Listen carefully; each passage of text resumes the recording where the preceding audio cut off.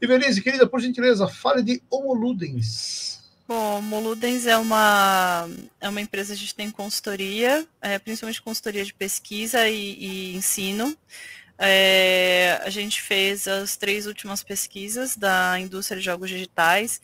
É, só para o pessoal entender, assim, uma coisa é pesquisa mercado de jogos, mercado de jogos é quem consome.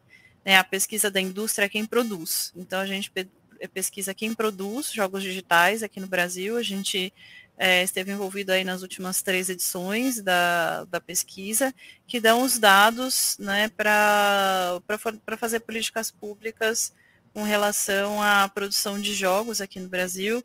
A gente tem outros projetos, é, a gente tem um projeto com relação à produção de material de modo gratuito para famílias, então tem um projeto que é o, o cartilhagames.com.br, que a gente fez um material para falar, é, falar de games para famílias.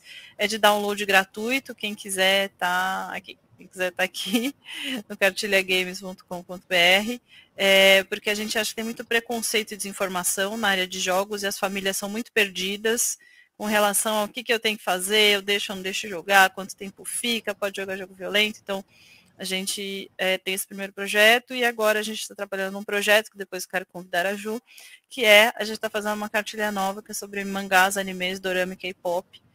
E também nesse sentido de orientar as famílias, porque também é um, um, tema que as pessoas ficam muito perdidas. Então, a gente tem isso, tem a questão das palestras, né? A gente faz bastante palestra para a escola para falar desses temas, principalmente temas de games, né? para falar de temas de games. A gente tem outras atividades que não são de games, né? A gente tem algumas atividades que são de agro e outros projetos, mas basicamente é isso, Carl.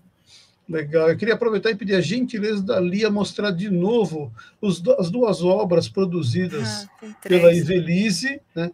Nós temos ali o Mangás, Animes e a Psicologia, e é. esse aqui que é o Mangás de Psicologia 3, né? É, tá faltando dois aí, mas eu não tenho dois aqui para mostrar. Ah, mas fica a carinha bonitinha dali, ali, justamente fazendo a composição. Contratar né? ela de garota propaganda. Exato, muito bem.